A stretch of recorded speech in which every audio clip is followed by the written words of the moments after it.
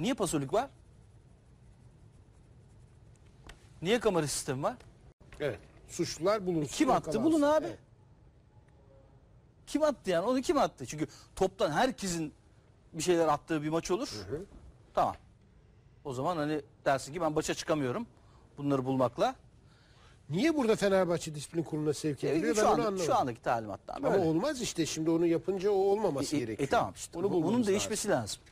Yani bu talimatnamenin değişmesi lazım. Bu bu kulübü ilgilendiren bir şey olmaktan çıkması lazım. Neden? Tabii. Çünkü artık insanları sen fişledin. Evet onun için zaten. Kameraları bunun- da kurdun. E, bunun bulunması O adamın lazım. cezasını ver. E, verilmesi lazım zaten.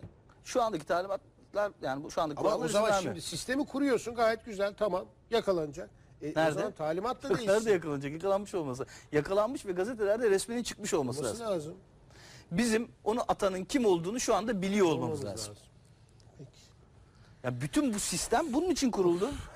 Herkesten benim benim 7 yaşındaki çocuğumdan eee, o kartı bunun için istiyorsun.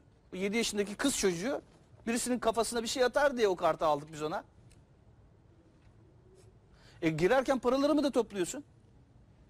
Bozuk param var eve o parayla döneceğim. Dönemiyorum dolmuşa vereceğim veremiyorum. Onu da alıyorsun. Sonra bir tanesi atıyor E sonra- bütün herkes ceza alıyor. Sonra disiplin kurulu evet. Sonra sen de ceza alıyorsun.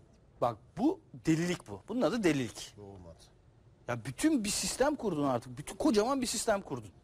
Şu adamı yakalamak için kurdun. Bak bütün hepimize eziyeti, bütün bütün taraftara eziyeti bu deliği yakalamak için yaptın ve adam yok ortada. E ne yapayım ben o pasoliyi şimdi?